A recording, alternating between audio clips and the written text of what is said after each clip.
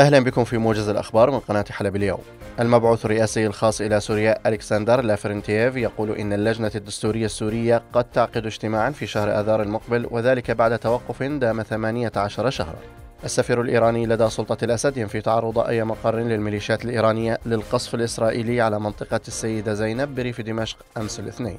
مركز شرطة كالجبرين بالتعاون مع قسم الأمن الجنائي التابع لمديرية أمن عزاز يلقي القبض على شخصين بجناية السرقة بعد فترة وجيزة من الإبلاغ عن السرقة ويسترد المسروقات ويردها لأصحابها أصولا.